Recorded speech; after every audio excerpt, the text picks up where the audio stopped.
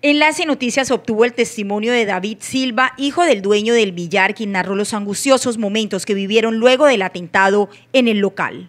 Esos hechos ocurrieron... Los que tiraron la granada llegaron al frente del billar, miraron y entonces subieron y con la misma se regresaron y se metieron por aquella cuadra. A lo que se meten por esa cuadra, yo escucho que el, el motor se, se para cuando nosotros menos pensamos, escuchamos la piedra. El muchacho que está con el testículo roto dijo, uy, tiraron una pie cuando, ¡pum! Según David Silva, él se encontraba en ese lugar del establecimiento público, en la cocina, salió hacia este muro, hacia esta barra y fue cuando vio a su padre y a una persona gravemente herida muy cerca a las mesas de billar. Sonó el estallido. Todo el mundo quedó aturdido, todo mundo... yo lo que pensaba era mi papá. Yo me agacho, volteo la cabeza y lo miro allá tirado y lo cojo. Primero, lo primero que hice yo fue revisarme. Y de ahí fui a auxiliar a mi papá y cuando yo miro hacia el frente está el muchacho poniéndose morado. Entonces yo vine y lo auxilié. Lo puse estable hasta que llegara por ahí un paramédico y yo volví, me regresé y le pregunté a mi papá, ¿qué siente? Y me dice, no papi, me duele la pierna. yo, ah, se esquilearon a mi papá. 14 personas estaban en el establecimiento cuando la detonación. Según David, en el lugar tres días antes se había presentado una discusión con dos hombres que comercializaban al parecer drogas en el negocio. Días que lo que había ocurrido era que eso, señor Pulga había tenido un problema con un señor ahí, señor Moreno.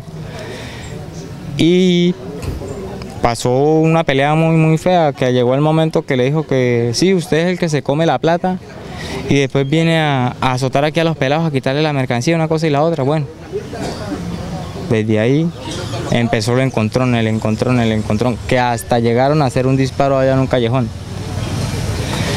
Ya después de eso, prácticamente aquí los muchachos no las creían.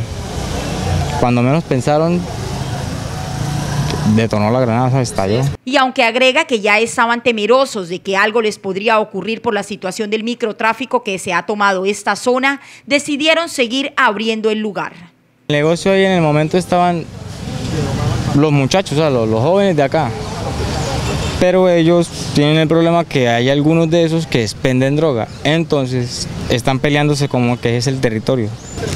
Nosotros le habíamos dicho a esos, mi papá prácticamente les dijo una vez, no quiero verlos vendiéndome marihuana aquí en la casa, porque yo la verdad no quiero que me van a quitar el negocio. Y entre él más le decía, más lo hacían en momentos que llegaron a entrar con pistolas allá en la casa. Y le decían al viejo, ¿ahora qué va a decir? Vamos a jugar. De la marihuana llegó el bazuco.